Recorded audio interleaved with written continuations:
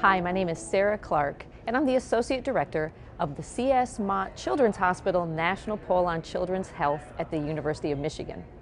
As school officials try to preserve funding for their academic programs, funding for extracurricular activities, including school sports, are facing serious cuts.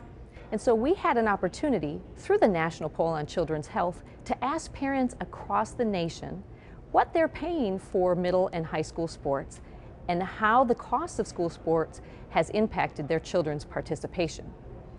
So one of the important things that we found was that 61% of the middle and high school kids playing school sports had an athletic participation fee for the school, also called a pay-to-play fee. Participation in school sports differed based on household income.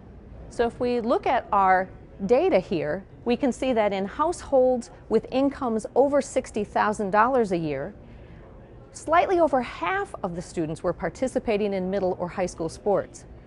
When you compare that to the households with income of less than 60,000, dollars only 34% were currently participating in school sports.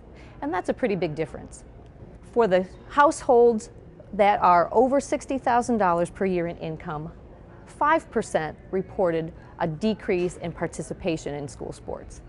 And for the households with less than $60,000 in income, 19% reported a decrease in school sports. That's a difference of about four times as much, and that's really significant. School sports offer many benefits to kids. They include increased school achievement, lower dropout rates, better health and reduced rates of childhood obesity, and things like learning teamwork and cooperation. No athletic director, coach, or school official wants kids to be unable to play school sports. We hope this information from the National Poll on Children's Health starts the conversation about how to look at the cost of school sports in a way that ensures that all children have an equal opportunity to participate.